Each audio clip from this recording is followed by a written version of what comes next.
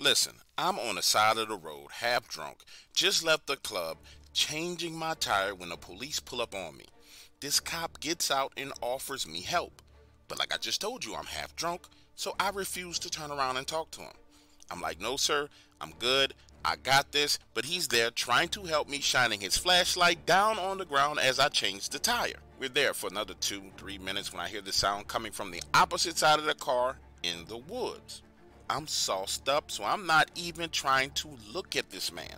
That's when he takes that flashlight off the ground and starts shining it in the woods. In the meantime, I have all the lug nuts on. I'm ready to get back in the car, so I stand up just to tell him thank you. And when I look into this man's face, he looks like he is having a heart attack. His skin is flush red, his eyes are wide open, he's sweating, and he says, Sir, get back in your vehicle and go. Imagine the scene one black dude on the side of the road, a white cop, my hand is extended.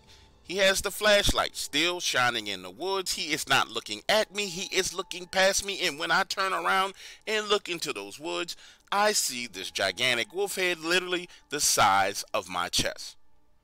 The officer starts to push me, saying, Sir, please get back in your vehicle and go. Then takes off running to his vehicle, hops in, and pulls off before I do. Now, when I get back home and I'm sitting on the sofa, I'm playing everything back through my mind, and I realized that this cop had seen that thing and had been standing there with the flashlight shining on it the entire time. In fact, when I stood up to shake his hand, I'm pretty sure the reason why he didn't shake my hand is because he had his other hand on his gun. Talk about protecting and serving. I was freaking flabbergasted. The next day, I head to the police station and bring a king cake looking for that officer. The problem was, I didn't know his name, I didn't know his badge number, I didn't even know his car number. So I walk into the police station with a king cake and I just tell the front desk officer, hey, one of the officers from this area last night helped me out when I was on the side of the road and I wanted to come by and tell him thank you. Understand? A black dude walking to a police station telling the cops thank you is literally like an alien walking in downtown Manhattan. Everybody's looking at me like I got two freaking heads. But I leave the cake for him anyway.